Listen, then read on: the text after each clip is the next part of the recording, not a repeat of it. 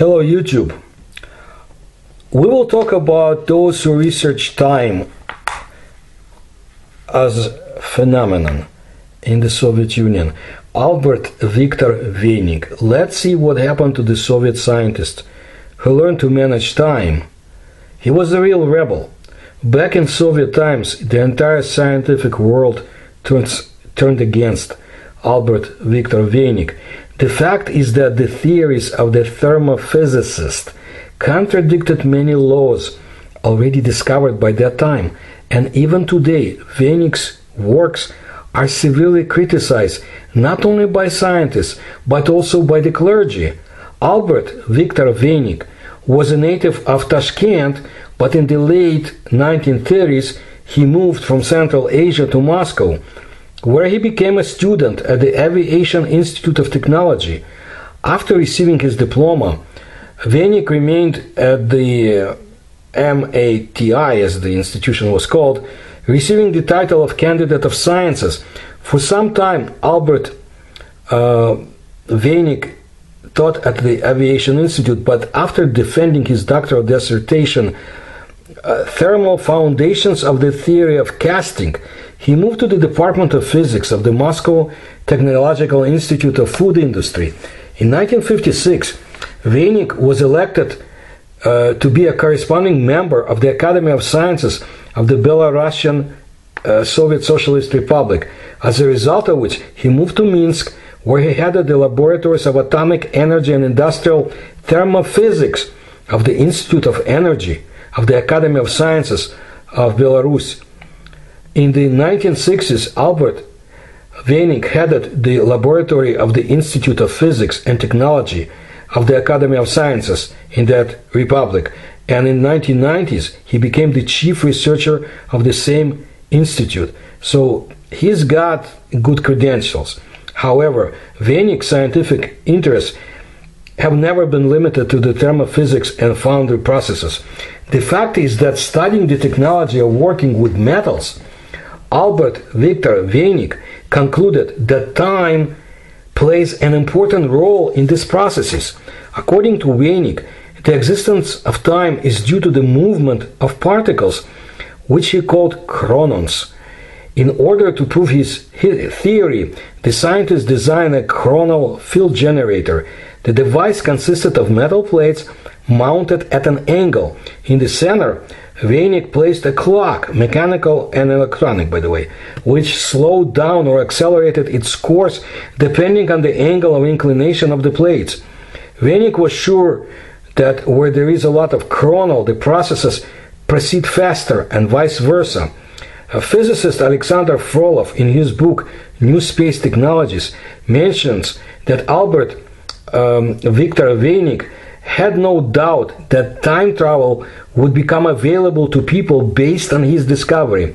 Veinik wrote, we can use time in a chronal engine that converts chronal into pressure as well as create time machines. For example, we can direct a real system to its past or future by artificially raising or lowering its chronal. The main non-academic work of uh, not recognized by the scientific community, was the creation of the so-called thermodynamics of real processes, TRP. Its main provisions are formulated in the book published in 1991, among the reviewers of which was the academician of the Academy of Sciences of Belarus by the name of Antisovich, Anisovich, the monograph provides an unconventional definition of space and time, considering time as an object, as well as ways to manage them.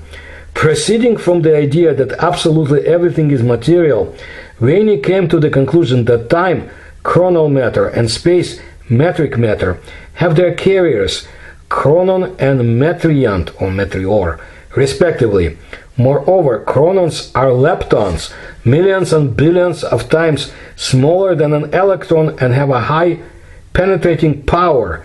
Devices whose operation, according to the author, violate the second law of Clausius thermodynamics, the third law of Newton's mechanics, and the law of conservation of the amount of motion are described. An attempt is made to explain the physical mechanism of the so called anomalous phenomena, poltergeist, UFOs, etc. The book states that all the described phenomena are a single phenomenon generated by the ultra thin world um, that penetrates, or subtle world, that penetrates into us and manipulates our consciousness and health. Albert Veinik's works have been severely criticized by both theoretical physicists and philosophers and clergy. Back in the 1970s, the Minister of Higher and Secondary Special Education of the USSR signed an order to withdraw the textbook Thermodynamics from university libraries. Uh, they, they, were trying to cancel uh, Russian priest Andrei Kurayev in the publication Answers to the Young insisted that Veinik's books, book Why I Believe in God, based on his theories, is not serious from the point of view of theology and is more related to the occult than to the Russian Christian Orthodox faith. In 1992, Albert Veinik was baptized into the Russian Christian Orthodoxy, after which he largely switched to studying the peculiarities of the interaction of the material and spiritual worlds, deepened into the study of the so called subtle world. In the last years of his life, he worked on a book about the subtle worlds and their management of bioorganisms, meaning the biosphere of the earth. However, Veinik's research was interrupted by his unexpected death under very strange circumstances. On November 24, 1996, Veinik was hit by a car on one of the streets of Minsk. The scientist received injuries incompatible with life. He passed away. Albert Victor Veinik had fu- funeral in one of the Minsk cathedrals and buried in a cemetery outside the Bel- Belarus capital. It is noteworthy that the academician claimed that human consciousness after death continues to exist in the same subtle world.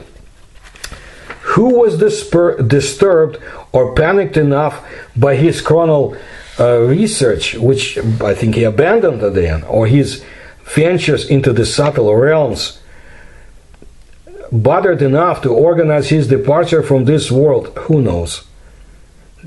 That's all I know about him, but I wanted to let you know because I already told you about Kozyrev and about some other time strange phenomena pertaining to time that was studied in the Soviet Union or occurred in the Soviet Union and different areas where it had occurred.